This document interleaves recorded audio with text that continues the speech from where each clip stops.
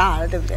对，拍着拍着他又长大，成熟了，成熟了哦。对，这个戏对他来讲也是一个蛮大的压力，因为先得奖，然后再演一部电影，要扛票房啊，对不对？所以你们才找黄渤的。其实跟黄渤他一一开始他就黄渤是非常硬底子的，而且是金马奖影帝。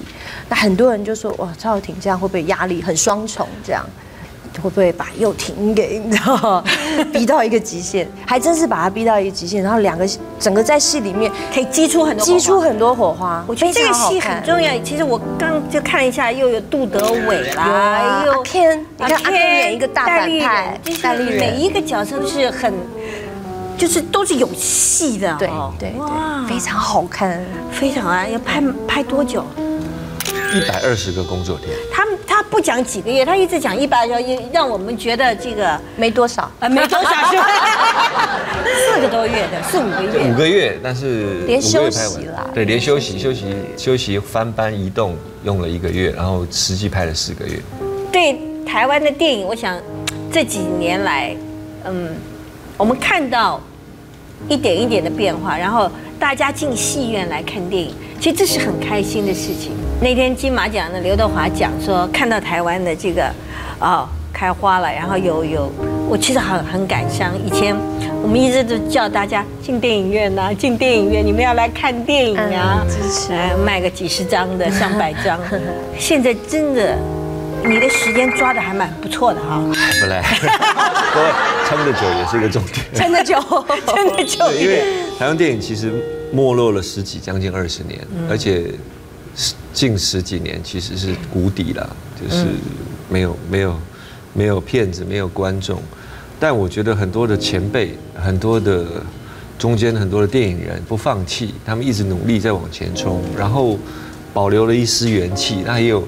很重要的是，电视圈也保留了一丝电影人的元气，我觉得这是非常重要。我们在电视的环境里头将将养生息，然后把这慢慢的培养起来，培养起来，建立了能力，建立了明星，建立了说故事的方法，建立了全亚洲的连接管道。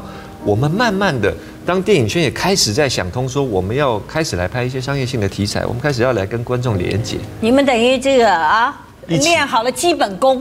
回来发功了，对，大家一起回来。今天我们有一些好朋友，他们眼中的你们这对夫妻导演啊，在他们眼中是羡慕呢，还是什么呢？我们来看。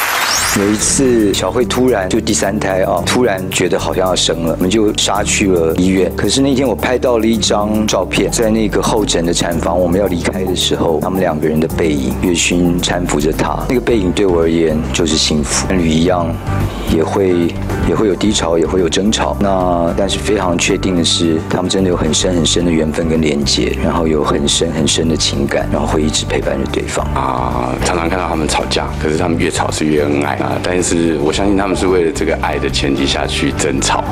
呃，很多人看到他们在彼此相处的模式里面，都会又羡慕，但是又嫉妒，但是也很庆幸不是他们这样的相处模式。但看到他们吵吵到两个人已经觉得。感觉已经觉得，哎，明天这两个人应该是是差不多要要拜拜了。就没想到第二天他们的恩爱模式又比一般的这种夫妻恩爱的模式又更不一样。印象中好像没什么结婚纪念日，呃，常常都在过结婚纪念日，但常常可能在要庆祝前就会用这个争吵来去争。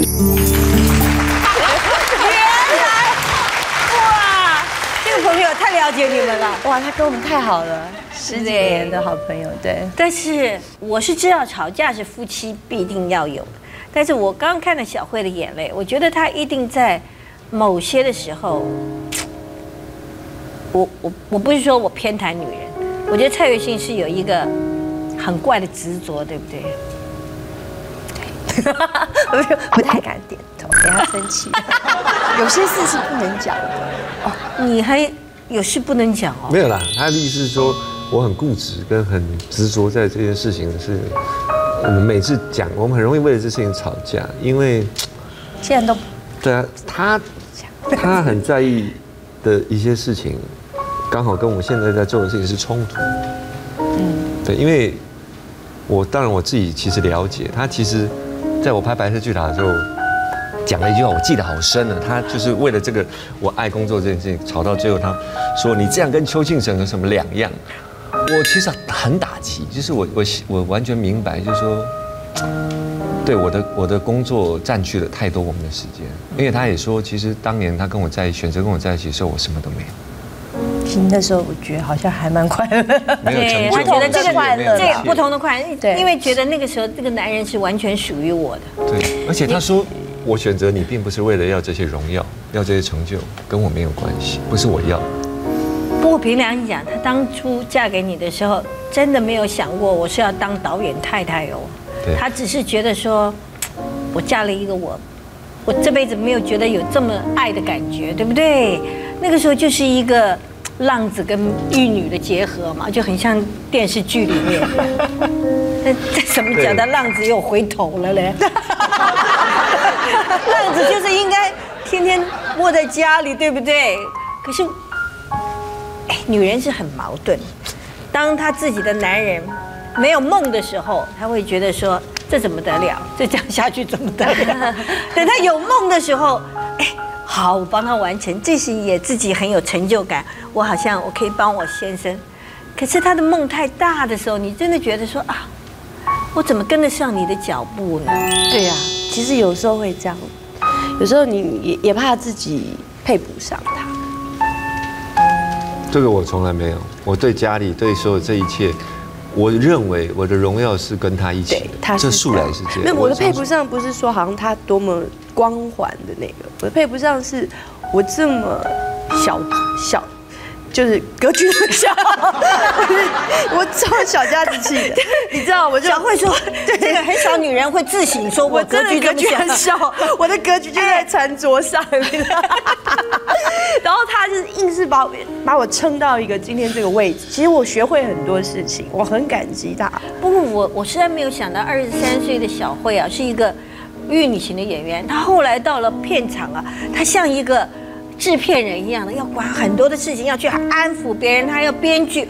我觉得他很卖力耶，还不断的在生孩子、啊。我觉得他很卖力，他本来想我只不过嫁个浪子，哪那么辛苦啊？我只我只不过去演演戏，养养家就好了。我现在也是这样想的，一开始我想说没关系，我也可以去赚钱啊，对，我就赚钱嘛，我们两个人就过了这个啊，对不对？就过一些痞子的生活，怎么想到要做英雄呢？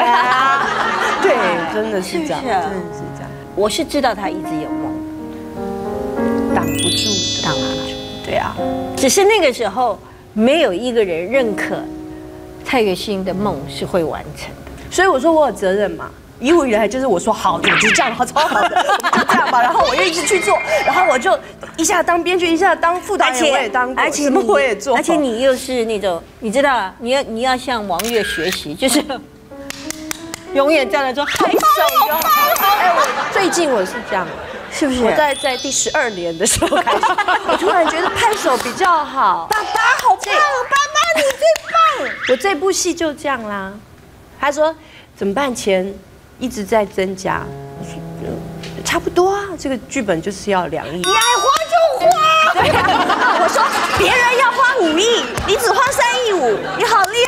我就这样讲。我问他，我真的，他这个时候他就会比较担心一点，哎呦，哎，我少花点吧。